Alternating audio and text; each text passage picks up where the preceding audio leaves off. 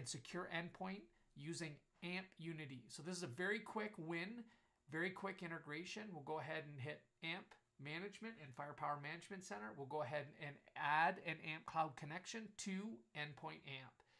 And what happens is, is Firepower becomes an endpoint within Endpoint AMP. And now when we want to make a decision on mitigating risk, it'll apply to Firepower as well. Here, if you don't add any groups, you're going to actually get uh, event streams from everything. I'm going to be selective here and just pick the groups. And once we do that, we'll go ahead and hit allow. Now Firepower Management Center is authorized, the state is enabled, everything looks good. That's really it. Now I'm going to take a little bit step further and I'm going to create a policy. I've already done this, um, but uh, you'll get the idea. It's very quick. I, I just take the default and clone it and copy it or whatever. And then all, all I'm going to do is make sure that I use this simple custom detection list. And so you would build that under outbreak control and custom detection simple. Very, very easy. This is just where you're going to add SHA-256s uh, to that list and block if, um, if, if they're part of that list. So I'll go ahead and save that. And then the other piece is, is that uh, now I've got this policy, I'm going to create a group.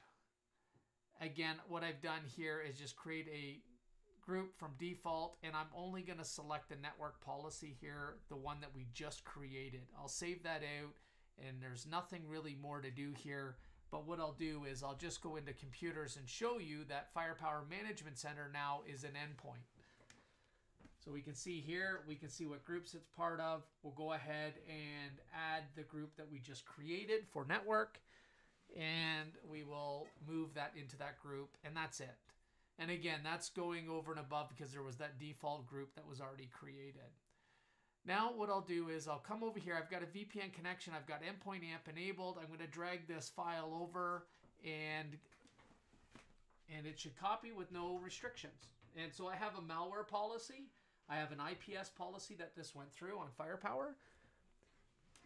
I'll go ahead and streamline my event viewer here to look at that specific use case. And I can see this mo file monitor event that was triggered. Now, if I go into table events, I get a little bit more information. I'll scroll over to the right here. I can see FTP is the client and continue to scroll. And now I see this files. And if I click on files, now I can see the file name. Now, because they've changed to dark mode, that hasn't been applied here, but you saw that I highlighted it. I can pivot into this now. I'll go ahead and pivot into it and I'll drop it down. This will move me into table events. And from there, what I'll do is I now have a SHA-256. So let's go ahead and copy this SHA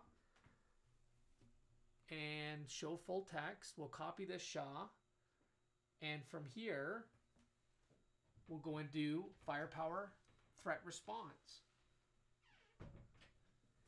We'll do a quick investigation and look at that. We see the gateway. Firepower saw this file. We saw it on the endpoint. We've got the file name. When we start digging into this, you can see how the screen automatically zooms in and concentrates on our focus. There we go again with endpoint amp. We've got the GUID, the IP address, the MAC address. Now we've got this SHA. This SHA was what we searched on. This is that JRE. We can pivot right into AMP from uh, the AMP event itself from here.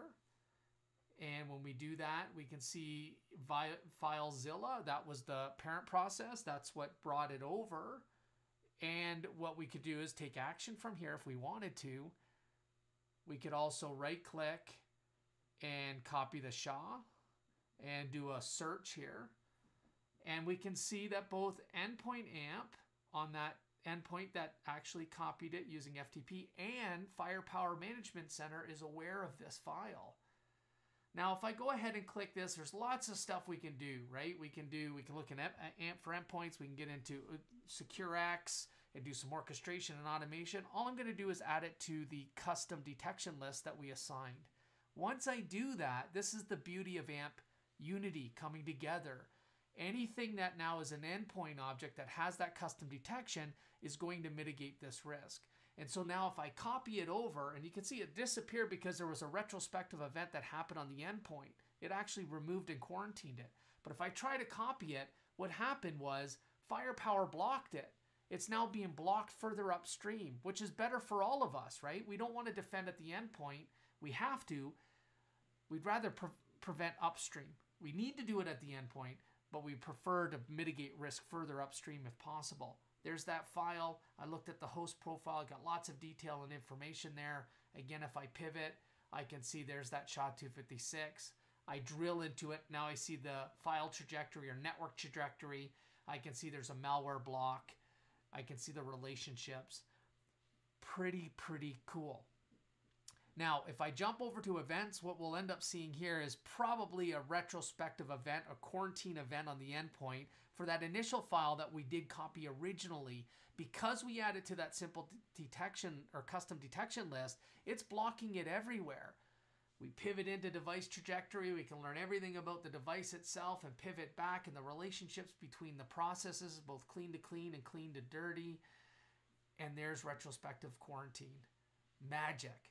If that was a bad file, game over.